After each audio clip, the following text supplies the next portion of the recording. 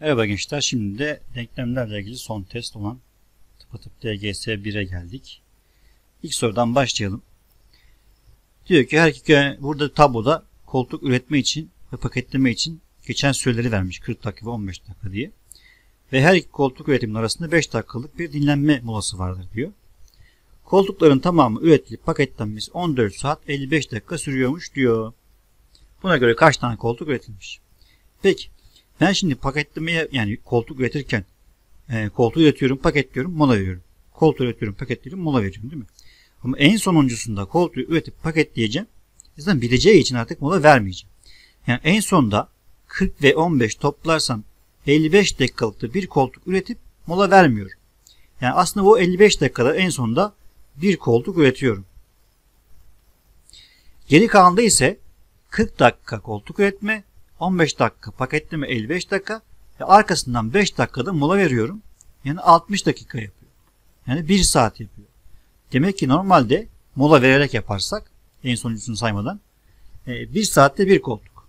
O zaman 14 saatte burada 14 koltuk olur.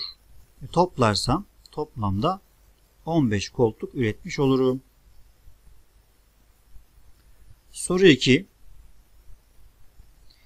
Evet şimdi buradaki çubukları diyor ki bir tanesini önce 16 santimetre kesiyorsun sarı olanı sonra iki eş parça yapıyorsun ve kırmızıdan da 10 santimetre kesip sonra kalan 4 parça yapıyorsun ve şöyle hizaladığında sarının kırmızıdan 7 uzun olduğunu görüyorsun.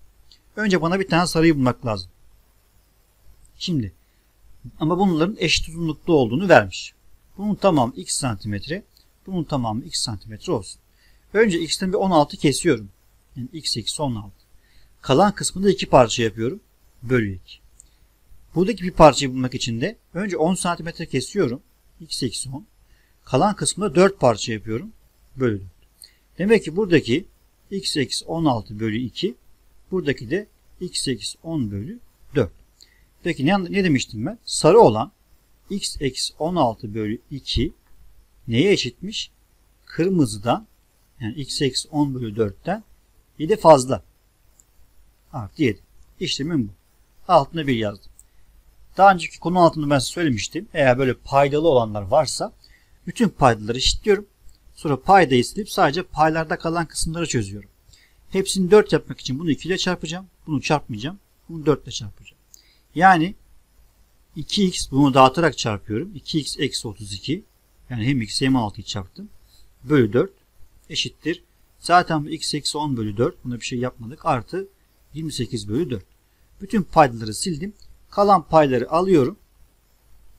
Ve tek başına bir denklem gibi çözüyorum. Şimdi şu, to tarafı toplarsak bir 2x eksi 32 dursun burada. x artı 18 yapar. Eksi 10 artı 18 artı 28. 2x'i pardon x'i buraya alayım. Eksi 32'yi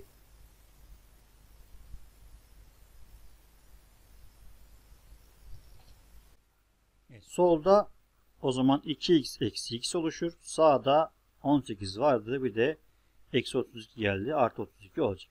Çıkardığımda sadece x kalacak. Toplarsam da 40, 50 olacak. Demek ki başlangıçtaki boyları 50 santimetreymiş. Evet soru 3'e bakalım. İkincisinin boyu birincisinin iki katı. O zaman bunu 2'ye çarparsam dağıtarak çarpıyorum. 4x artı 2. Üçüncüsünün boyu da 1 ve 2. çubukların boyları toplamı. E, toplarsam 6x artı 3. Diyor ki 3 üçünün toplamı 78. Şimdi 6, 10, 12x var. Artı 3, 2, 1 toplarsam 6 var. Toplamda 78 yapıyormuş. Denklemin bu. 6'yı karşıya atarsam eksi 6 geçer. Burada 12x kalır. Çıkardığımda 72 olur. Her tarafı 12'ye böleceğim x yalnız kalsın diye 12'ler gidecek. E, x eşittir. 72'yi de 12'ye bölersem 6 yapmış olacak. x'i buldum ben. Bana ikinci çubuğu soruyor. İkinci çubuk 4x artı 2 idi. Yani 4 çarpı 6 artı 2 yapıyorum. x yerine 6 yazdım. Bu da 24 artı 2 olur. Yani 26 yapar.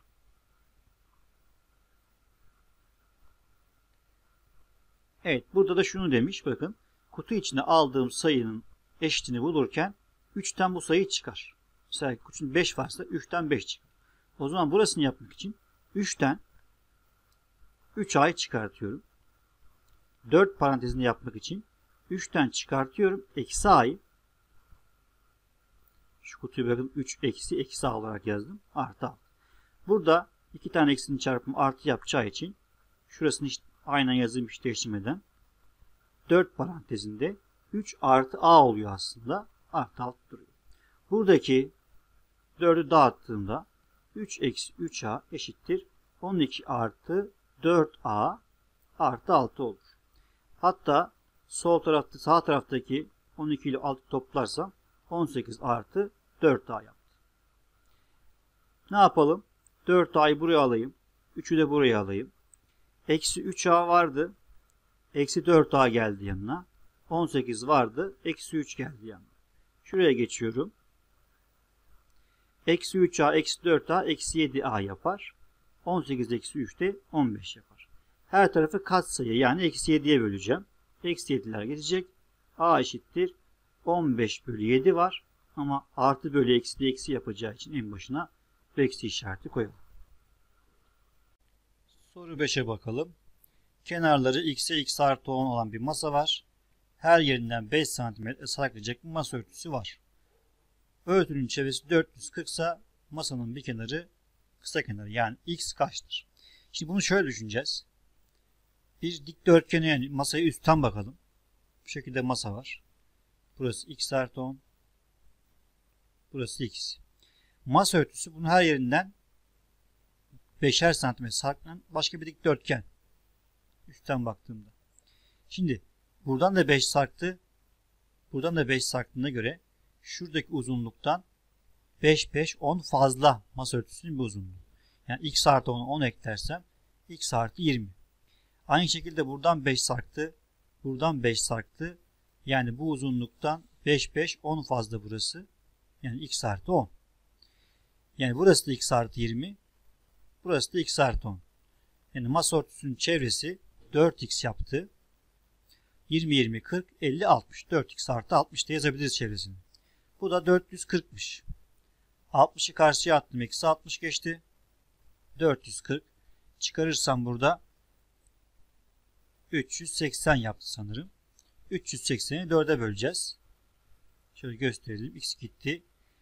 9 kere 36 95 yapmış oldu.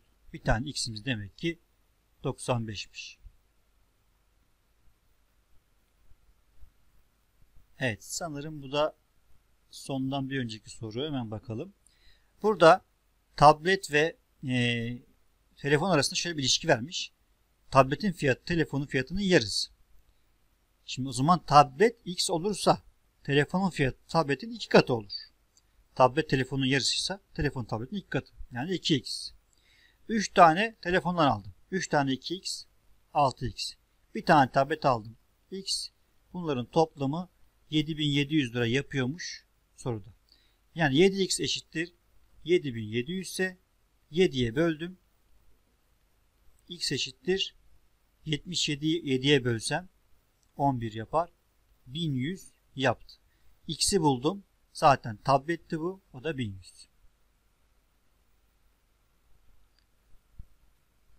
Evet. Daha sorularımız varmış. 8 9 Güzel.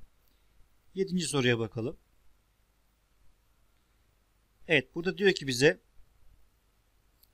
7 gün boyunca günlük ortalama 100 soru çözecek şekilde bir e, ödev, ödev vermiş öğretmen. O zaman toplam kaç soru çözecek demek ki bu? Günlük 100 sorudan 7 gün boyunca 700 soru yapar değil mi? Yani burada toplamda 700 soru olması lazım. Şimdi burada hafta içi ve hafta sonu olarak iki tane bilgi vermiş. Şu. Hafta içi çözdüğü soru sayısı hafta sonu çözdüğü sayısının ilk katından 20 eksik. Yani hafta sonu x ise hafta içi 2x eksi 20. E hafta içi hafta sonu toplam soru sayısı 700 olacaktı. Bunu biliyorum. O zaman buradan x'i bulacağım. Yani hafta sonunda bulacağım. Toplarsam 3x eksi 20'yi karşıya attım. Artı 20 demek 3x 720 yaptı. 3'e bölersem 240 yapmış olur x. Neresi? hafta sonu. Yani şurası arkadaşlar 240 soru. E toplamda ne vardı? 700 yok muydu? Yani toplam bir haftalık soru sayısı 700. 700'den 240'ı çıkartırsam, yani hafta sonu çıkartırsam hafta içi çöz, çözülen soru sayısı da ortaya çıkar. O da 460 olur. Hemen ben burada 240'tan e, çıkarırsam 125'i çünkü cumartesi pazar 240 diye pazarı biliyorum.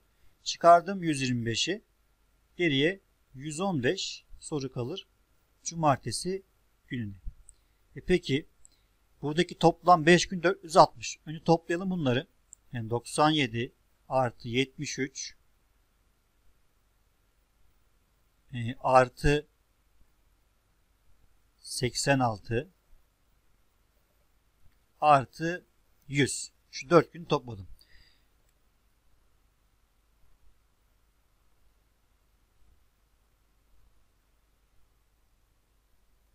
E, toplayalım. 100, 180, 250, e, 340, 356 yapmış oldu. E, 460'tan 356'yı çıkaracağım. Şurada çıkaralım. Perşembeyi bulayım diye. 356'yı çıkarıyorum. Burası 4. Burası 1 aldığı için 0. Bu da 1. Yani 104 soru kaldı buraya. Ne istiyordu benden? Cumartesi günü çözdüğü soru sayısı Perşembeden kaç fazla? Yani 115 104'ten kaç fazla diye soruyor. Çıkarırsam geriye 11 soru kalır. 11 fazla olmuş olur. Evet bakalım 8'e. Buradakilerin diyor ki şekil 1'de kullanılan çubukların uzunlukları toplamı 28. Her bir eşit uzunlukta çubuk var. Yani bunların her biri x dersek buradaki her bir çubuğunu x dersek 3, 4, 5 3, 4, 5, 6, 7, 8x. Yani 8x değil mi? 1, 2, 3, 4, 5, 6, 7, 8x. Evet. Ee, 8x oldu burası. Buraya bakarsak her birini x dersek 1, 2, 3, 4, 5, 6, 7, 8, 9, 10, 11, 12. Diğer tarafta şuraya eşittir koymayın. Diğer tarafta 12x. Şekil 2 yani. Bunu da şuraya yazayım. Şurası 12x. Diyor ki şekil 1'de kullandığı gibi çöplerin toplamı pardon şekil 2'de kullandığı çöplerin uzunlukları yani 12x şekil 1'de kullandığı çöplerin uzunluklarından yani 8x'ten 28 fazla. Yani artı 28. Bu 8x'i buraya aldım. 12x eksi 8x eşittir 28 oldu. Çıkarırsam 4x eşittir 28 yapar. E en son kaç sayıya bölecektim? 28 bölü 4 de 7 yapar. Bir tane ki bu çöpün uzunluğu 7 santimetreymiş. Bakalım buraya. Üstte sadece resim var. Geçtim aşağıya. Diyor ki İsmet fiyatı 300 TL olan tableti almak için hafta hafta kumbarasına para biriktirmiş. Bunun için her hafta bir önceki haftaya göre 5 TL fazla para atmış. 6 hafta sonra kumbarasındaki parasını saydığında 3 TL'ye daha ihtiyacı olduğunu fark etmiş. Demek ki 297 TL biriktirmiş ki 3 lira daha olsaydı 300 olacaktı tableti alacaktı. İlk hafta ne kadar biriktirmiş diyor. Şimdi kaç haftaydı? 6 hafta değil mi? Birinci hafta diyorum. İkinci hafta. Üçüncü hafta. Dördüncü hafta. Beşinci hafta. Altıncı hafta diyelim. İlk hafta kumbarasını x atsaydı. Diyor ki her hafta bir önceki haftaya göre 5 lira fazla atmış. O zaman ikinci hafta 5 lira fazla x artı 5. Üçüncü hafta x artı 5'ten 5 lira fazla x artı 10.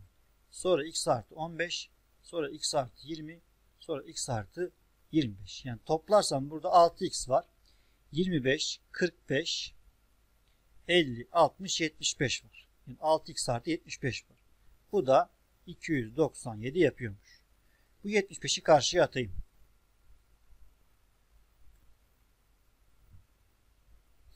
Eksi 75 diye geçti. Kaldı burada 6x. Çıkarırsam 222 yaptı. Ne yapacağım? 222 demek ki 6'ya böleceğim. 6 kere 3 18. Kaldı burada 42. 6 kere 7 42.